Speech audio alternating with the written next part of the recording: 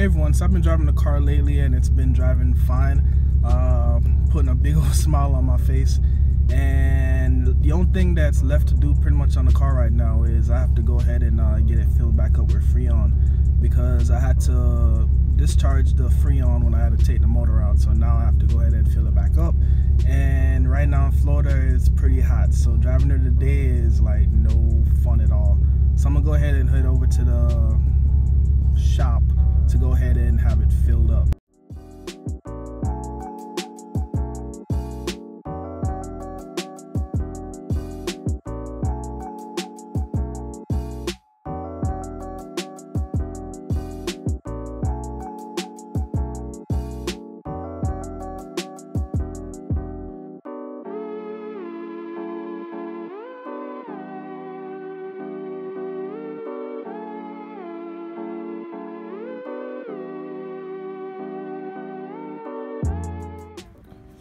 So, uh, I gotta bring it back tomorrow. They got like a two hour wait, and I, homie, don't play that. I ain't waiting no two hours.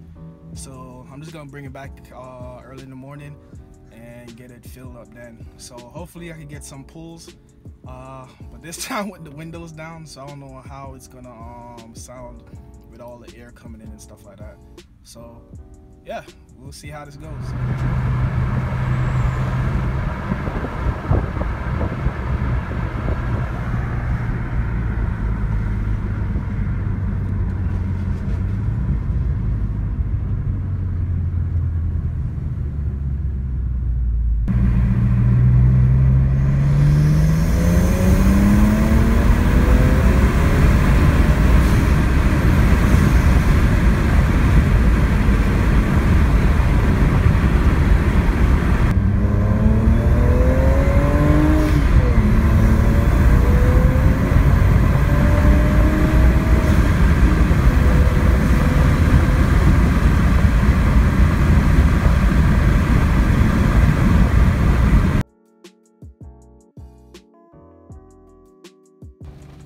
So currently being towed home right now. The transmission just like slipped.